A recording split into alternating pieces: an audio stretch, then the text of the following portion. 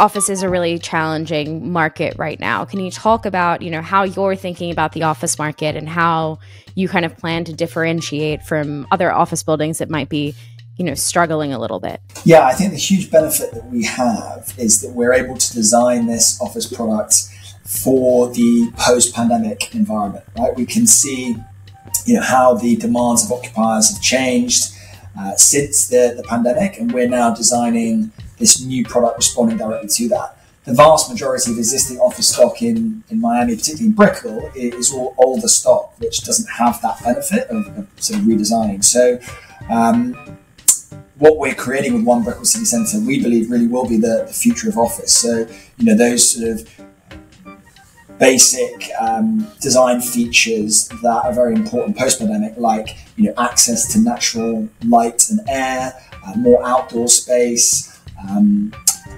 those are those are going to be really important, uh, uh, as well as all the sort of fundamental column-free lease bands and large floor plates which the building will have. And then I think more importantly as well that the fact that it will be connected to the existing Brickell City Centre, so it has the benefit of being truly integrated into that mixed-use scheme so that everyone who works in the building can enjoy sort of seamless transition to the Metromover, as well as all of the you know retail and F and B that currently exists in, in Brickell City Centre. That's a huge um, value add, I think, for, for any office project.